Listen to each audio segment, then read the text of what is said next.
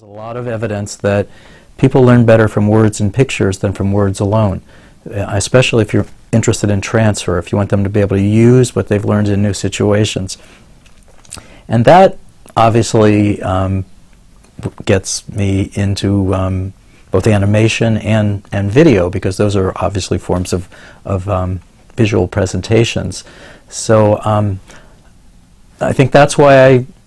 kind of got interested in, in, in video and in animation and even in just still um, graphics because the, the question is how can we design graphics so that they can help people learn better?